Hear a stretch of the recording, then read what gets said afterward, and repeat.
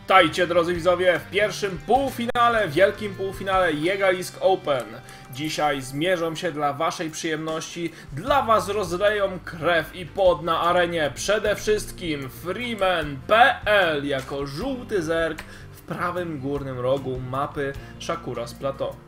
A w lewym górnym rogu jako fioletowy teren Brawura, który pokazał nam całkiem dobre mikro z poprzednich grach. Nie było aż tak źle, więc zobaczymy co nam dzisiaj pokaże.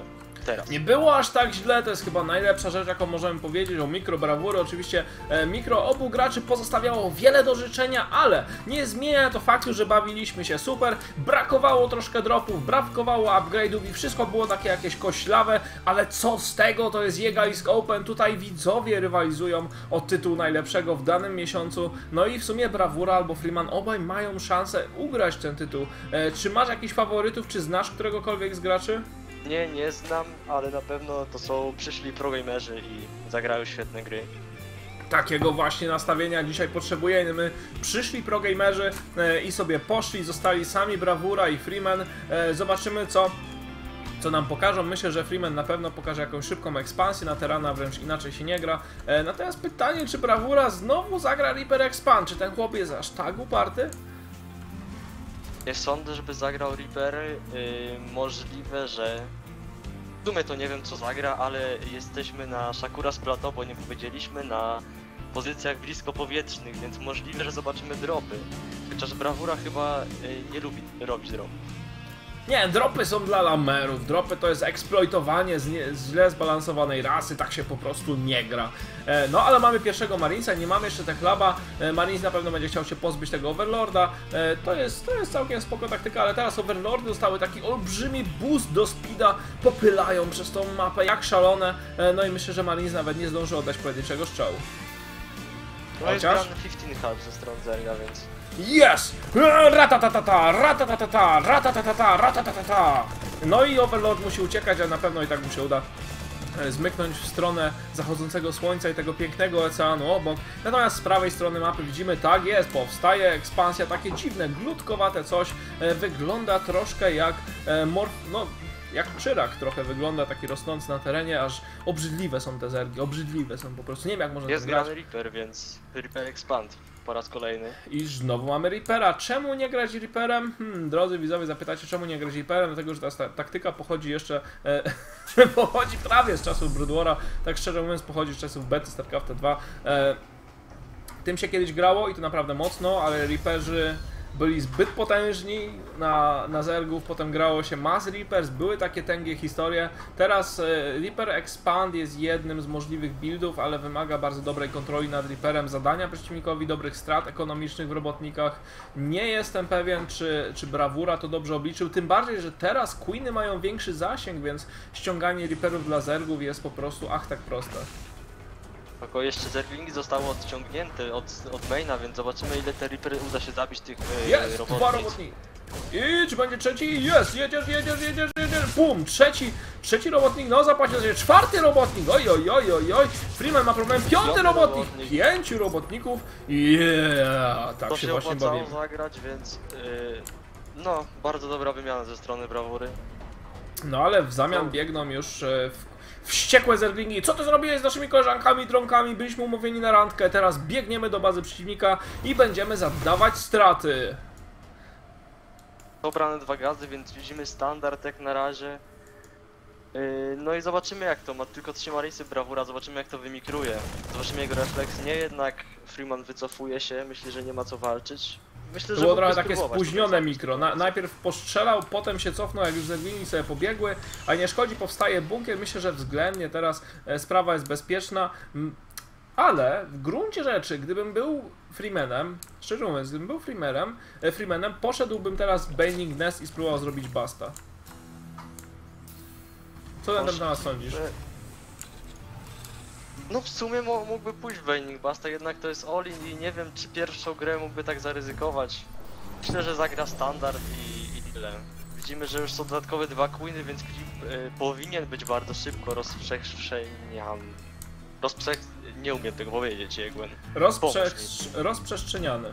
Tak, E, dokładnie tak. Proszę bardzo, 3,50 do słoika musi rzucić e, za pomoc przy kastowaniu. Natomiast e, chciałem powiedzieć, że jeśli nie w pierwszej grze, to kiedy? Właśnie cheesy i inne dziwne zagrania najbardziej opłaca się robić w pierwszej grze, bo wtedy konsekwencje potencjalne są najmniejsze. Można jeszcze zagrać potem standardem, wrócić do siebie, a przeciwnik już nigdy nie będzie taki sam, będzie czuł się po prostu skrzywdzony i mentalnie zgwałcony przez ten cheese w pierwszej grze, więc mamy nawet całkiem spore szanse. No i na, na dużych turniejach wielu graczy tak właśnie robi, że pierwszą grę otwiera czymś zupełnie niestandardowym, jakimś cheesem, po to, żeby wytrącić przeciwnika z rytmu. No ale jednak nikt się nie spodziewał Olina w ostatniej grze, więc zobaczymy. No jest nie, Olina jednak nic nie Chamber. Jest brany podwójny Evo Chamber, więc to jest ciekawe. Ale co z tego, jeśli upgrade'y się w nim nie robią? Drodzy widzowie, taka rada dla was, jeśli gracie podwójny budynek z upgrade'ami, to róbcie te upgrade'y do diabła, e, bo to aż źle wygląda, e, a wasi przecież potomkowie będą to wszystko oglądać na YouTubie, bo to co na YouTube'a trafia już zostanie w internecie forever. E, właśnie, jedna rzecz mnie zastanawia. Se pomyśl, ile na YouTubie musi być tam storage'a potrzebnego. Kurde, oni tam mają, muszą mieć serwery olbrzymiej ilości, ale to nic ten storage cały czas musi rosnąć. Na YouTube'a non-stop są wgrywane filmiki. Ciekawe, czy oni mają coś takiego jak cmentarz, w sensie, o, tu trafiają filmiki, które były mało oglądane. Buch! No wracając do gry, to chyba Bell nie, nie może się zdecydować, ponieważ postawił i Roach Warren i Raining Nest, więc... Zabiłeś moją dygresję o YouTubie, jak tak możesz? E, no, no dobra, no nie. Freeman nie może się zdecydować, jest jedno i drugie, faktycznie, no... Mieszanka Roache i Bailingi, widzieliśmy ją nie raz, ale myślę, że wymaga naprawdę dużej ilości skilla i wymierzenia, e, jeśli chodzi o minerały. E, nic takiego się na razie nie dzieje, nie mamy żadnego wymierzania, jest już troszkę bailingów, ale wszystko póki co bardzo defensywnie dla Freemana e, i szczerze mówiąc sok pomidorowy, który piłem w przerwie chyba już jest przeterminowany. No, będą grane coś tanki, będzie drop Jegłen, więc zobaczymy pierwszy drop ze strony Brawury. Yes! Musi się Wow! dobrze zaprezentować tutaj.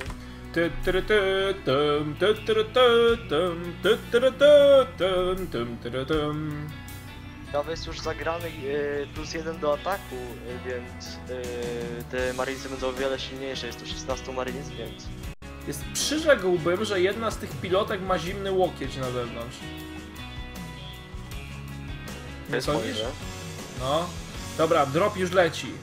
Czy Freeman będzie nad niego przygotowany? Medyczki podlatują do Bailing Nest. Jakie to obrzydliwe! Szybko! Chłopaki, zniszczyć to! Zastrzelić! Hurra! Ratatata! Ratatata! Wszystko teraz strzela. No i chyba spawning pool albo Bailing Nest. Jedno zostanie ściągnięte. Steapak dopiero teraz użyty tak późno. Jest! Jeden z budynków padnie. No i może tutaj być praktycznie reset technologiczny dla Zerga. E, Strata spawning poola nigdy nie jest pozytywna. Co więcej, Freeman. Au! To było bolesne. To było autentycznie Ofensywne bolesne. działanie na bailingi. To jest biegnięcie w bailingi, nowy, nowy, nowy styl grania. Tak.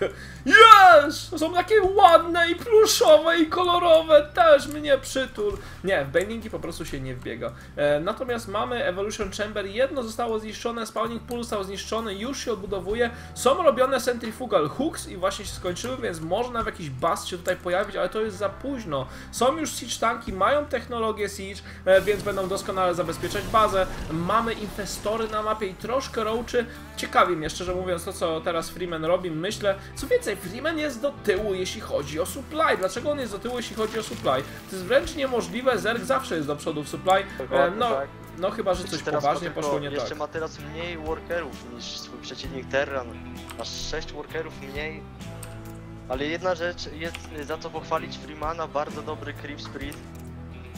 Naprawdę, Tak, naprawdę creep dobrze. spread jest całkiem fajny, to prawda. Jest w sumie tak, ładnie rozłożony, cała mapa, pyk, pyk, pyk, szybko, rachu, ciachu i do piachu. Niedługo będzie taka wręcz alejka z creepa ułożona przez środek mapy i w gruncie rzeczy to jest to, czego, czego chcemy.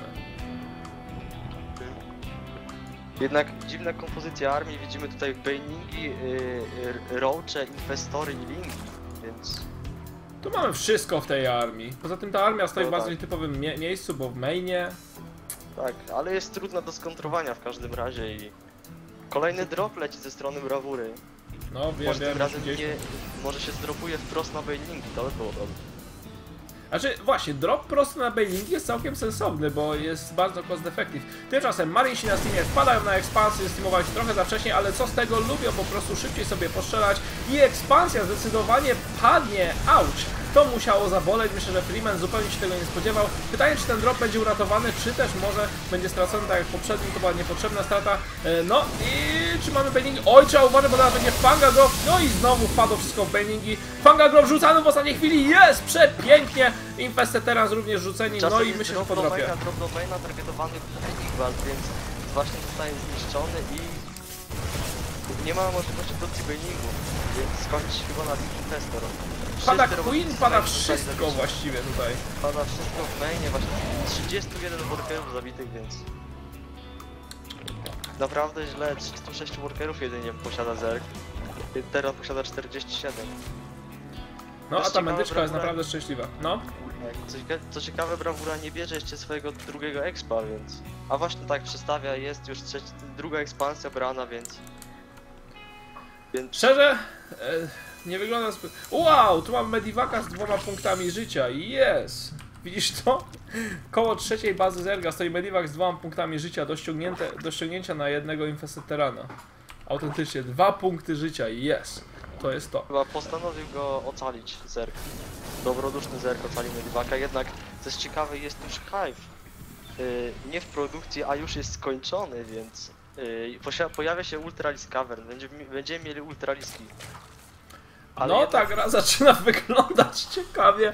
Ultraliski jeszcze dla Zerga, który ma problemy z utrzymaniem swojej ekonomii. Nie sądzę szczerze mówiąc, że Freeman będzie w stanie sobie na nie pozwolić. Ultraliski są tak. bardzo drogą jednostką. Żeby utrzymać regularną produkcję ultralisków trzeba się naprawdę nam- napocić, trzeba mieć pół mapy. E, on natomiast wy, może wyprodukuje ze dwa. Dwa ultraliski nie zmieniają toku bitwy. Zresztą jest dość spora ilość maruderów, więc myślę, że te Ultraliski nawet nie dojdą do armii. Mhm. No zaraz No zobaczymy. Drop już leci w stronę maina po raz kolejny. Tymczasem zerglingi ciągną przez środek mapy, ale tanki są pięknie rozstawione naokoło. E, troszkę zerglingów sobie padło. E, drop w mainie właśnie się rozładował. E, zejdzie zaraz drugi Evolution Chamber po raz kolejny. No zerg ma problemy z upgrade'ami całą grę. Myślę, że to jest troszkę pech. E, albo zły building placement. Tak czy siak zerglingi wycofują się do bazy. Jest już kilka bailingów, ale tymczasem Marisi zostali załadowani e, do Medivaka, przynajmniej część z nich. Jeden niestety nie miał zbyt dużo szczęścia i został e, no, pozostawiony na łaskę przeciwnika i to nie, nie było zbyt piękne. Dokładnie, jak widzimy, że Brawura będzie wychodzić z jakimś puszem yy, lub przestawiać jednego tanka, więc zobaczymy. Nie, jednak chyba będzie wychodził, chce skończyć tę grę, wie, że ekonomia Zerga jest naprawdę słaba. Idź chłopie, Zobaczymy. idź! Zobaczymy jego mikro yy, na te imba- inwestory, na Bangala tak zwanego. Jeden tank jest na high gdzie będzie zadawał ogromne obrażenia, nie ma tu Zerg. Jest zagrany Fangal, kolejny Fangal. No Fangal pada, pada dosłownie pięknie, ale czy to wystarczy? Ten Tank u góry zadaje takie przepiękne obrażenia na całą armię Zerga. Dokładnie tak. Dużo to już nie zostało do 14 zebrania. Dokładnie tak. E, Co więcej, Teran pięknie pozycjonowuje swoją armię, no traci troszkę z powodu tych pangali, tutaj wszystko już pada, e, ale siege tanki tak czy siak zadają damage'a, a to co pozostało jest całkiem fajnie leczone, więc że brawura w natarciu już ostatecznie, Zerg próbuje się przegrupować. Jeden Ultralisk wychodzi zaraz na mapę i jest, myślę, że to może zmienić grę. Tak, jednak jest drop domaina, kolejne Chamber zostaje stracone i Zerg nie posiada już nic, jeżeli zniszczy tego Hive'a, na to się właśnie zanosi, to Zerg będzie zresetowany. Ajajaj, dlatego Hive'a się powinno budować na naturalu, ale nie, Marisi zaczęli strzelać do Zerglingów, nie, retargetowali Hive i Hive pada! A zatem Freeman jest w poważnych tarapatach, Zerglingi morfują w bailingi, nie wiem szczerze mówiąc po co, to już jest moment, gdzie można by się poddać. Dokładnie tak. No jednak y, już posiada więcej workerów, 55, jednak 20 minuta i 55 workerów to nie jest dobra liczba. I mamy GG, dokładnie tak, Freeman poddaje się po pierwszej grze, no szczerze mówiąc został tutaj zdewastowany. Dobrze wychodzą te y, dropy brawurze, więc Mógłby Naprawdę częściej, dobrze, mógłby mógł- częściej. mógłby częściej, mógłby wcześniej. Tak. E, dobra, drodzy widzowie, my do Was wracamy zaraz po krótkiej przerwie na... Nie, nie będzie reklamy, po prostu po krótkiej przerwie. E, nie odchodźcie nigdzie, oglądacie, oglądacie Jäger's Open, czyli turniej dla widzów. Turniej taki, gdzie grają gracze nie do końca profesjonalni, ale i tak staramy się przy tym świetnie bawić. E, do tej pory dobrze wychodzi, więc e, zostańcie z nami, oglądacie... Zresztą powiedziałem, co oglądacie, co będę się powtarzał. Do zobaczenia za chwilę.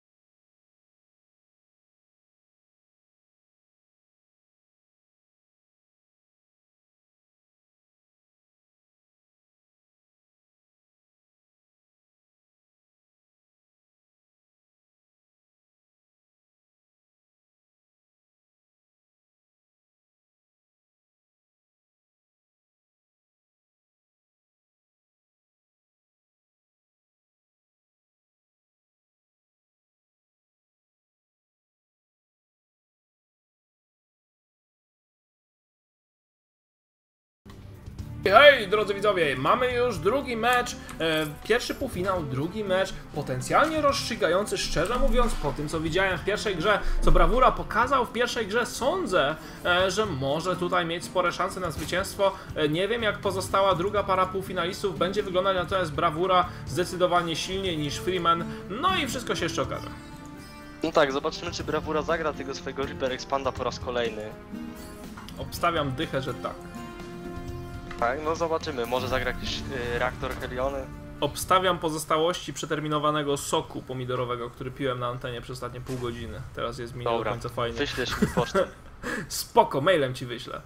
Przelew ci zrobię. Spoko. Przelew soku pomidorowego. No, jest naprawdę niedobry. Znaczy smakował dobrze, ale teraz się dziwnie czuję. Dobra, co mamy dalej? Show must go on. E, powstają baraki. Gaz? Czy będzie gaz? Czy będzie gaz? Drodzy widzowie, czy będzie gaz? Czy będzie gaz? Czy będzie gaz? Czy będzie gaz? Będzie gaz. Dalej, buduj gaz do diabła. Tak, jest! Dychę właśnie wygrałem. Zakładałeś się ze mną, czy nie? Zakładałem, zakładałem. Mm, No, nie no, dobra. jeszcze jest szansa na Heliony, więc spoko, spoko. Tak? Myślę, że jest szansa na Tak. Heliona. Nie, ja tego nie widzę. A jak zrobisz reaktor bez gazu?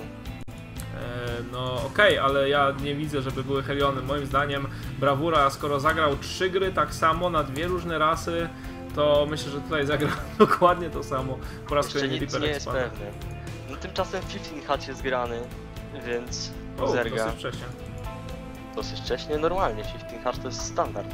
No tak, ale w sumie e, Freeman jak w poprzedniej grze zagrał? My się tak zagadaliśmy na inny temat. E, czy w poprzedniej grze zagrał tak samo wczesny Hatcha, Tak, czy najpierw. Spawning Pool? 15 Hatch. Okej, no to gramy standardowo. No, no, co może Zerk innego robić, no te rany zawsze 15 Hatch. że jakieś pentagramy rysuje brawura na, e, na Jednak mapie. no jest grany pierwszy Marin.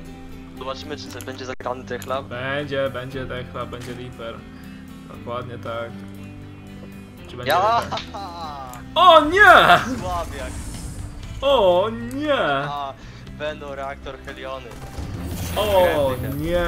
Wiesz co, to jak przyjedziesz do Poznania, to ci postawię browca dobrego. Dobra, spoko. Wiesz co? Wiesz co? A! Jest moje, reaktor, reaktor Helion Expand. moje ciasteczko z wróżbą mówiło mi złe rzeczy. Overlord tymczasem ucieka po prostu, no i będzie reaktor expand faktycznie, e, więc będzie ekspansja dosyć szybka. Lateralna bardzo bezpieczna, zabezpieczona przez, e, przez Heliony. E, Zergo oczywiście nie może zagro- zagrozić przeciwnikowi w bardzo szybki sposób, ale nietypowo widzimy aż 6 zerglinków na mapie. E, Czy jest to potrzebne? Nie do końca jestem pewien. 4 zerglingi to jest maksimum, co potrzebujesz we wczesnej grze, o ile nie zamierzasz położyć żadnej szybkiej presji. Dokładnie tak. Tymczasem zobaczmy jaki jest szalony APM. Gracze średnio 41 APM gracze mają, więc widzimy, że to nie jest jakoś tam przerażające. Jednak nabijane APM Zerga jest koło 200 średnia, więc Słucham? wiemy, że mocno się stara Freeman, tak. Ja mam 188 APM-u. EPM. A, EPM. O, EPM to co innego. Ale to faktycznie, to zaraz się stara, strasznie spamuje. Faktycznie, ale normalny, normalny APM jednak i troszkę inaczej wygląda, czyli ten faktyczny APM, co, co faktycznie robisz rzeczy, a nie tylko klikasz. No jest grany Spinecrawler w natura naturalu, więc powinno wystarczyć. Właśnie dwa Heliony są. Kiedyś się grało dwa Spinecrawlery, jeden Queen, jednak odkąd Queen ma te 6 zasięgu, tak 5 zasięgu, to jest tylko jeden Spine i dwa, dwa Queeny, więc powinno wystarczyć. Tymczasem zastanawiam się, co tutaj jest wyświetlane, bo e, koło, koło bazy Terana jest taki, taki, dziwny, e, taki dziwny hologram. Zakładając, że jest jakieś miasto, ten hologram w środku miasta pokazuje sprężynę i zerglinga co jakiś czas. E, tymczasem Heliony pozbyły się e, części zerglingów z mapy. Właśnie nie wiem po co Freeman te zerglingi tam wysłał, nie potrzebował ich, przecież e, potrzebował po jednym przy wieży Zelnaga, po jednym na ekspansjach Terana potencjalnych i tak naprawdę to wszystko. E, no i Heliony teraz będą próbowały wjechać do bazy Zerga, ale oczywiście zbyt dobrze to się dla nich skończyć nie może. Jeden z nich tak pada, drugi ajajaj, wszystko zostało po prostu wyłączone, bardzo brutalne. Drodzy widzowie, zamknijcie oczy, jesteś, jeśli jesteście o słabych nerwach, e, bo tutaj się działa istna rzeźnia.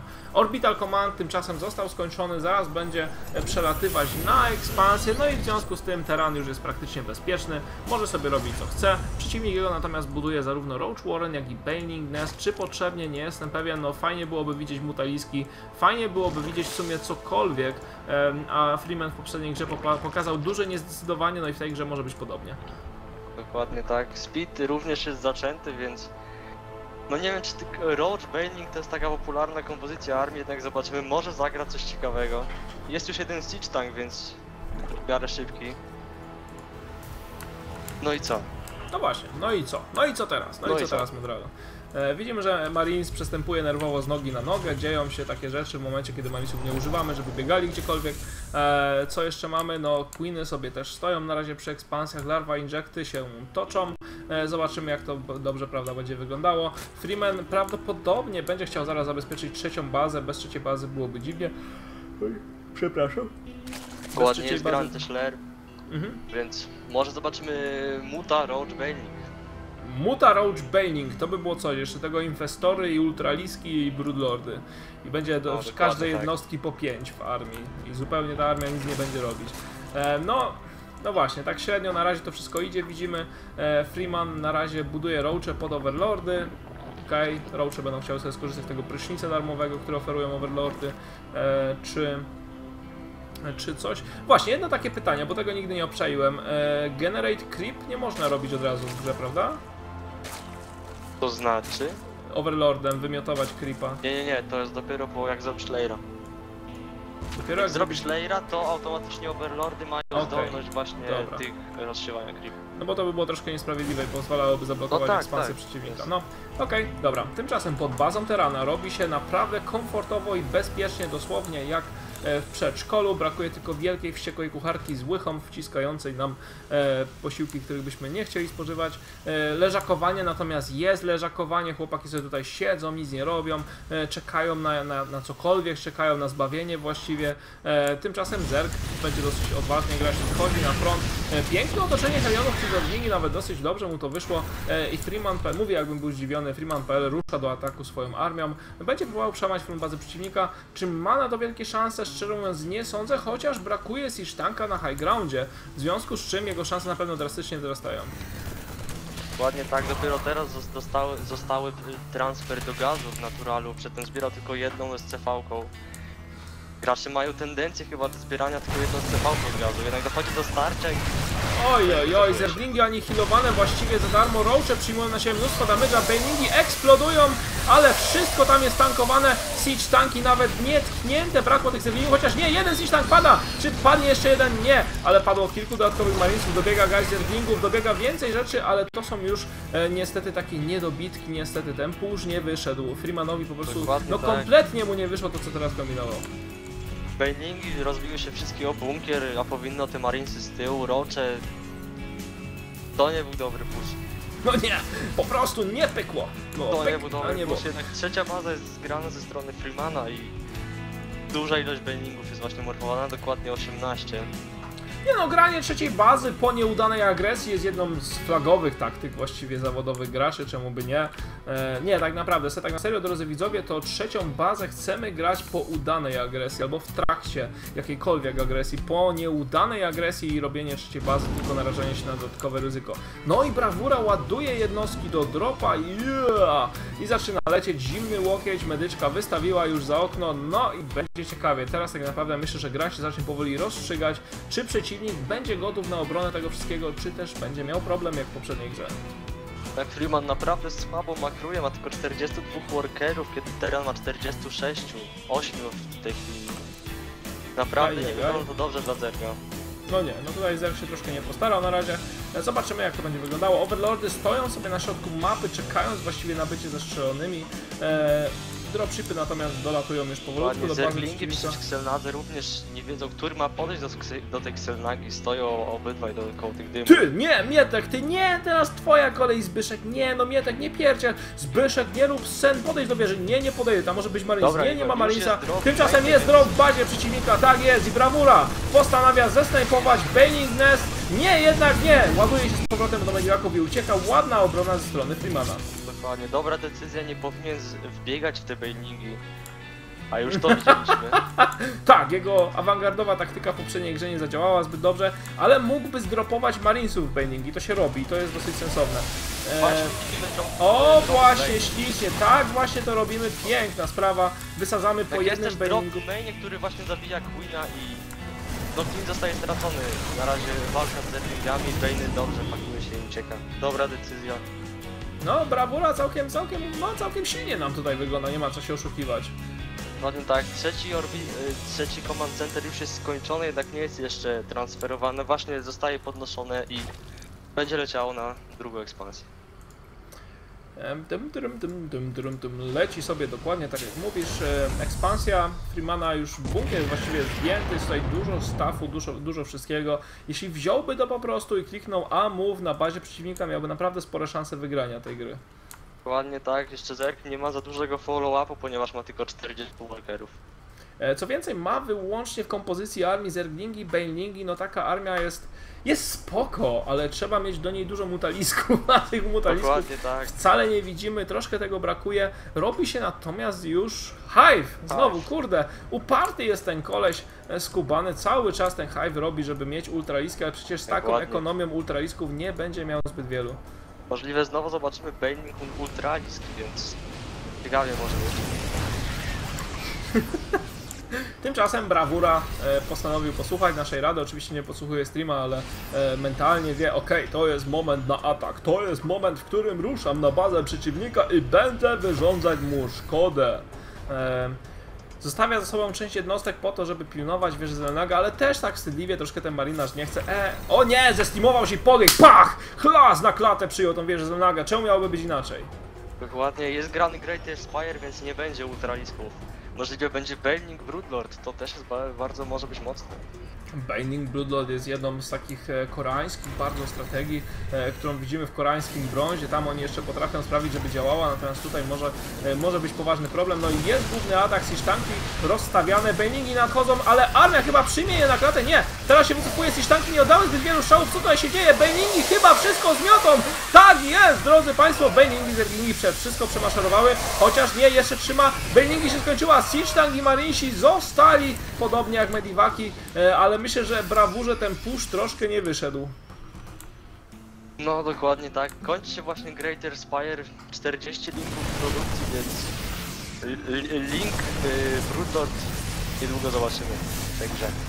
E, Ekspansja trzecia zaraz padnie, Zergini tutaj próbują walczyć, ale ta ekspansja już definitywnie pada. Okej, Zerg jest w wycofaniu, otacza armię swojego przeciwnika, ale armia jest uratowana przez Mediwaki, no i Bosko. E, Teraz przecież Teran może grać z powrotem defensywnie po tym, jak zaopiekował się większością armii gazowej przeciwnika, a także jego ekspansją, cały czas w prowadzeniu brawura, e, a Freeman produkuje dwa Broodlordy. Jest! Będę miał dwa Broodlordy! Yeah!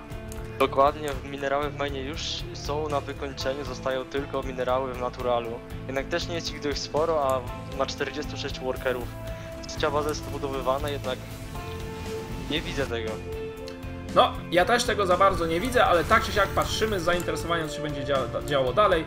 Jeden Broodlord sobie wyrusza w poszukiwaniu szczęścia, drugi za nim, a trzeci właśnie się wykluwa, e, więc takie brzydkie kaczątko zaraz na naszym ekranie wyskoczy e, z tego kokona. E, jeden Marine zestimowany wraca do bazy.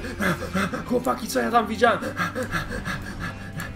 I no i zaraz będziemy mieli główny atak. Brawura natomiast ma tyle supply, że jest właściwie gotów przyjąć praktycznie wszystko. Dokładnie tak. Są już trzeci Broodlord morfowany, więc trzy Broodlordy. No wow, trzy Broodlordy, trzy Broodlordy, to Tak, jest zobaczymy. to. Chyba będzie atakował tą planetarkę z Erwingami. Planienki, panienki chyba na to lecą, ale, ale w tym wypadku może być ciężko, wikingi też są już przygotowane. No kompozycja Zerga jest dziurawa jak moja zeszłoroczna skarpeta, szczerze mówiąc. E, brakuje tutaj wszystkiego, e, Broodlordy potrzebują wsparcia koruptorów, żeby radzić sobie z wikingami. E, armia lądowa musi też być duża, natomiast te Broodlordy po prostu wystawiły się teraz na śmierć. Tak, wszystkie Broodlordy zostaną stracone. Nie ma żadnego koruptora, więc Nie ma niczego, co by strzelało do góry, dokładnie tak. dokładnie tak. O, je, jest jeden koruptor, jest! E, No i Planetary Fortress zostaje właśnie atakowane, to nie była sprytna decyzja i właściwie dobrze się nie skończyła dla Freemana i wygrywa Brawura 2 do 0 ze swoim przeciwnikiem w ten sposób Brawura zostaje... w finale, tak? Tak jest, Brawura zostaje naszym pierwszym dzisiejszym finalistą. Mam nadzieję, że, że przeciwnicy nie będą mieli nic przeciwko te, tem- tej całej pompie, którą sobie z nich ściągniemy, ale e, taka już zawsze jest idea Jega is Open, no bo o czymś trzeba mówić te pół godziny w trakcie gry. Drodzy widzowie, czy wy macie coś przeciwko temu, że ciągniemy pompę z graczy? Nie. Prawda, że nie macie? Yeah, I'm sexy and I know it.